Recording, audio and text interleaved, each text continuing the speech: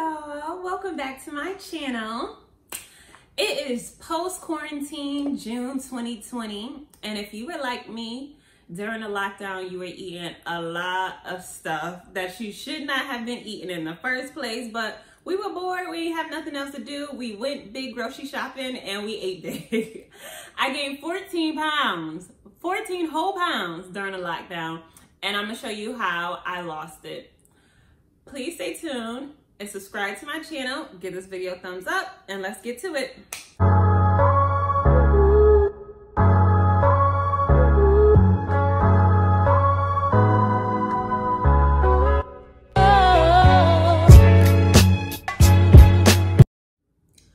I know there's so many different ways to detox these days. I wanted something natural, like meaning I can do it myself with items from the grocery store. So that's why I chose to do JJ Smith's 10 day green smoothie detox. This is actually the third time I've done this. And every time I get pretty good results. If you're not familiar, JJ Smith is a black woman.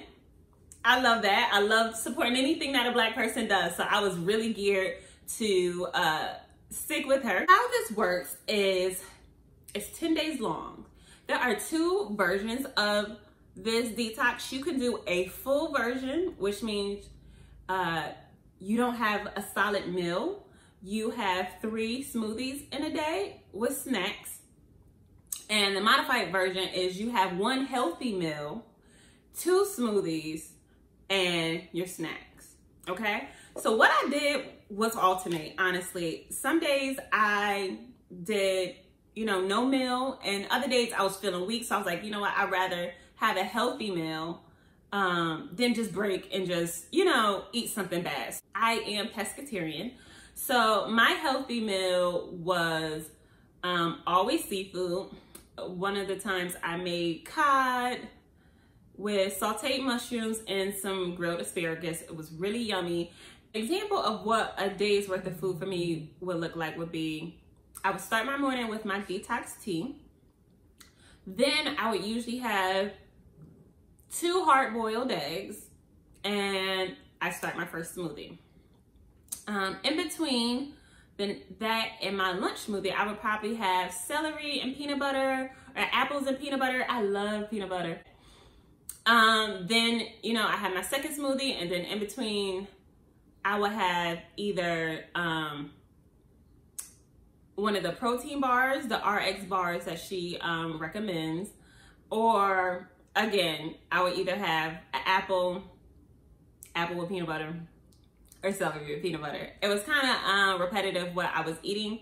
And then at night, I would have my third smoothie. And that's if I didn't have a meal. I would, if I had a meal, I wouldn't have the lunchtime smoothie. That's where I would eat. I would eat um, at lunch. Because you're taking in a lot fewer calories, um, it's advised not to overdo your workout. Like don't do anything strenuous. I would do these 20 minute workouts um, on YouTube's Fitness Blender. Fitness Blender is the channel. And um, just so I break a sweat. I would also wear my waist trainer to try to keep keep my tummy in and suck it all in. so um, you'll see the biggest weight loss the first two days. And then after that, you'll start to lose about a pound and about half of half of a pound to a pound every day from then on. I lost a total of 10 pounds. So um, it wasn't my entire 14 pounds, but I'm happy. I was happy with that. Let's go over the pros and cons, in my opinion. So, mm, the biggest pro to this for me was it was natural ingredients and I could continue this on after the 10 days. I could continue it on for the rest of my life if I wanted to have two smoothies in a meal or anything like that. It wasn't, you know, I don't feel like it's an unhealthy diet, something that I'm restricting or restraining myself from too strenuous. And I love that. I also love that this diet resets your palate. So I'm not craving the ice cream anymore. I'm not craving pizza. And it just it just changes the way you want to eat. I love that there are two variations. So if you are someone who you know you can't go without a meal, you can go to the modified version. Love that there is such a big support group on Facebook for me to ask questions, search other people's questions, look at other people for inspiration is really motivating just that, you know, you're not in this alone. I bought the ebook on my Kindle so that way when I go into the grocery store, I have my grocery list on my phone versus a paperback. I gotta carry it around, gotta look it up, whatever. It's with me wherever I am and I love that. Now, the cons for me was I missed hot food in my belly. Like I missed chewing, I missed all of that. You can overdo your snacks because it's so much protein. And then you're not, you don't have an appetite for your smoothies. In my experience, I had a headache the first three days. Somewhere within the first three days, most people start to feel a headache or start to feel really tired or irritable because you are detoxing from sugar, it's best to plan this around a time you don't have any events. we were on lockdown, there were no events. Some of the items on the grocery shopping list that she provides in her book are a little hard to find.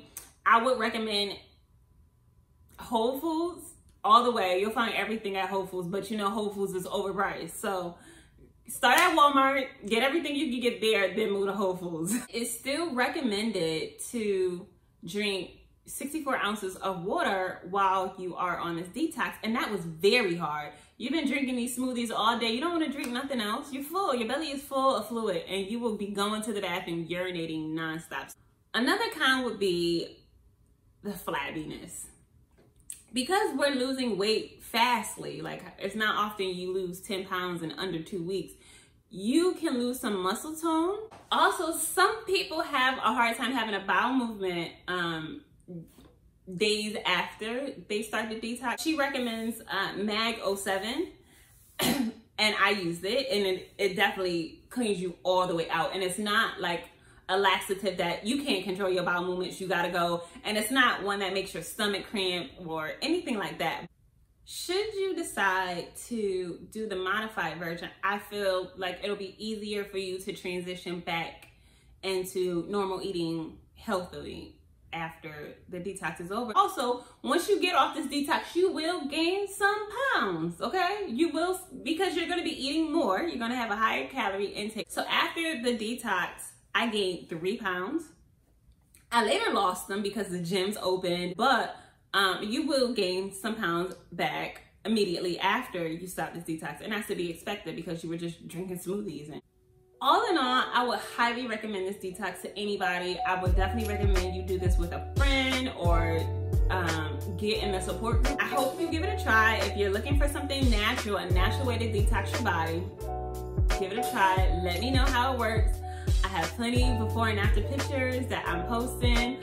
I started at 189 pounds. I haven't been in a 180s in years. Like, oh my God. And then when I ended, I was at 179. I have since lost more weight. I've since lost all my 14 pounds, praise God. But it started with this detox, jumping starting my palate, because it always starts with your diet. You cannot out exercise a bad diet. It doesn't work. It just doesn't work. It, so once I was able to get my appetite back right, I was able to do the rest. I hope you enjoyed this video. Please give it a thumbs up and remember to subscribe to my channel.